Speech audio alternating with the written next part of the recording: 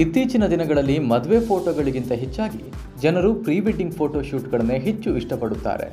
ಮತ್ತು pre wedding ಶೂಟ್ಗಳನ್ನು ವಿವಿಧ ಮಾದರಿಯ ಫೋಟೋಗಳನ್ನು ತೆಗೆಯುವ ಮೂಲಕ ಪ್ರೀ ವೆಡ್ಡಿಂಗ್ ಆಲ್ಬಮ್ ಸಾಂಗ್ಗಳನ್ನು ಶೂಟ್ ಮಾಡುವ ಮೂಲಕ ಮಾಡಲಾಗುತ್ತದೆ. ಇದೇ ರೀತಿ ಪ್ರೀ ವೆಡ್ಡಿಂಗ್ ಶೂಟನ್ನು ಡಿಫ್ರೆಂಟ್ ಆಗಿ ಮಾಡುವ ಸಲುವಾಗಿ ಯುವತಿಯೊಬ್ಬಳು ಮದುಮಗಳಂತೆ ಸಿಂಗಾರ ಮಾಡಿಕೊಂಡು ಜಿಮ್ನಲ್ಲಿ ವರ್ಕೌಟ್ ಮಾಡುವ ಭಂಗಿಯಲ್ಲಿ ಫೋಟೋ ಶೂಟ್ ಮಾಡಿಸಿದ್ದಾಳೆ.